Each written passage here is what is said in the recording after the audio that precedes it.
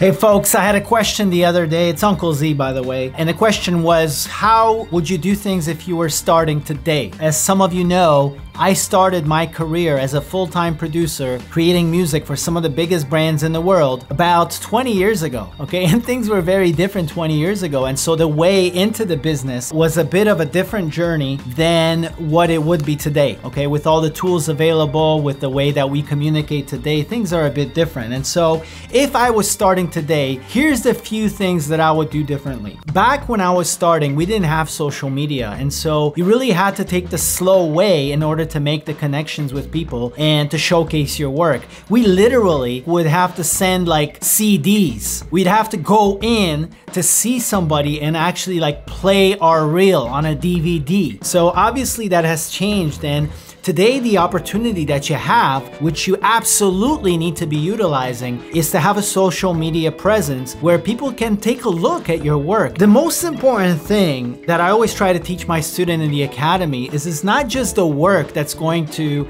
bring people closer to you, it's who you are as a craftsperson. Whereas in licensing, we're looking for the best track to put into a campaign or a commercial or whatever. In our business, the music producer who hires a musician is looking for someone who's able able to solve a problem. So what I'm actually looking for is a person, a remarkable person, a problem solver, someone with style, taste, sensibility, ability to understand what I'm trying to say and what the client is trying to say. And so the thing that you can communicate today through social media is not just like putting songs on there, but taking us behind the scenes, showing us who you are, telling your life story. If the music is amazing already, then what takes you to the next level is telling your story, sharing your story, showing how you make music. That's what's gonna bring you closer to the people that might wanna work with you. It's not just the music. Sure, it's cool to license a track for thousands of dollars, but wouldn't it be even cooler if you make a connection with a music producer like me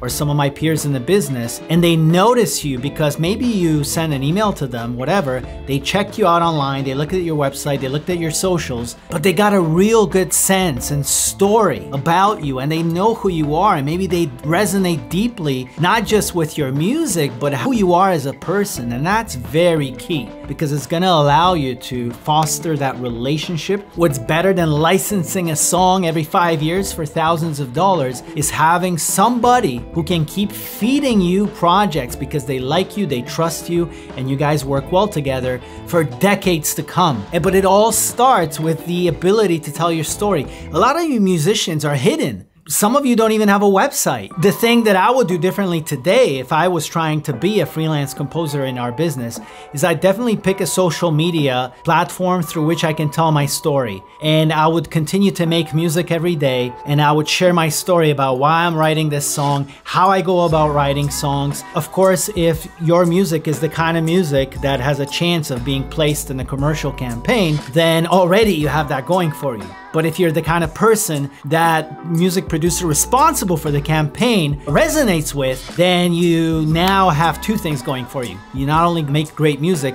but you make a great creative collaborator that other people want to hire. The other thing I would add to this, if I was starting today, is not just making any music and taking people through the process on social media, but actually thinking of concepts that make the idea interesting. For instance, uh, we get a lot of briefs in our business today where where you make music with some weird instrument or some weird sound source. You know, there's like a concept that's driving the creation of the music. You see, for instance, Andrew Huang doing that a lot. And he's a perfect example of how this works today and how I would approach it. So you know that his channel is known for all these weird experiments, like I made a sound with balloons or whatever the case may be. There's always a concept or an interesting idea behind the music he's making. Recently, I've seen on his channel that Volvo commissioned him to create a track. Now, the reason why he has a following on YouTube is because he makes interesting videos with interesting concepts behind the music he's making. I'm not surprised that sooner or later a brand came along and said, hey, you have the following, you're a cool guy, you have the image, you're making the kind of music we like, can you work with us to create a sound? So that's a perfect example, if I can summarize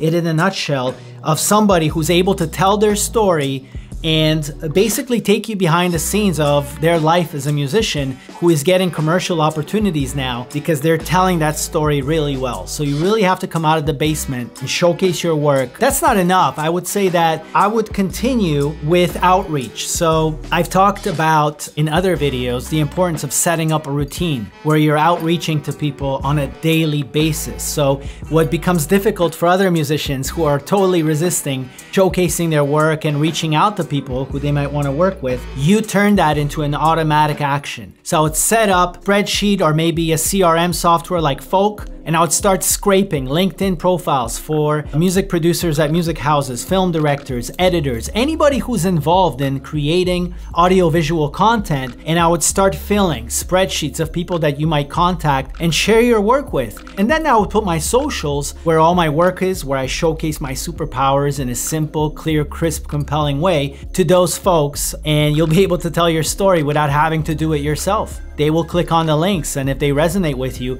they will get on a Zoom call with you. And by the time they have it, they will know roughly who they're gonna speak to. And the last thing I would do is get into a habit of not just working on loops that never get finished, but actually finishing tracks. Why? Because they, they become a resource. They become an asset that you can showcase, that you can make available because one of the people that you contact, whether it's an editor, a film director, or a music producer at a music house, they might say right away, oh my God, I looked at your Instagram. That cover you did of that track is amazing. I deeply resonate with it.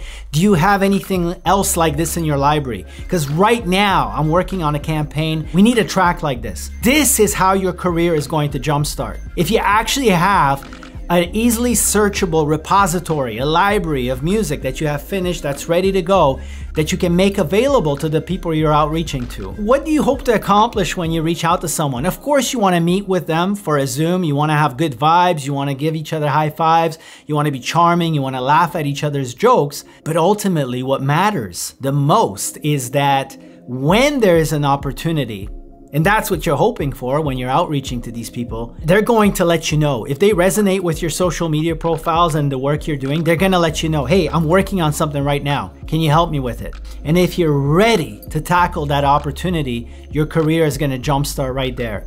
And then your first client is not only gonna like you, but they're gonna trust you to solve more problems. So they're gonna give you more problems. But not only that, they're gonna introduce you to their friends in the business, which will make your job of meeting even more people and getting more opportunities easier in the long run. All right, folks, I hope this video helped. If you enjoyed it, I think you should watch this one next.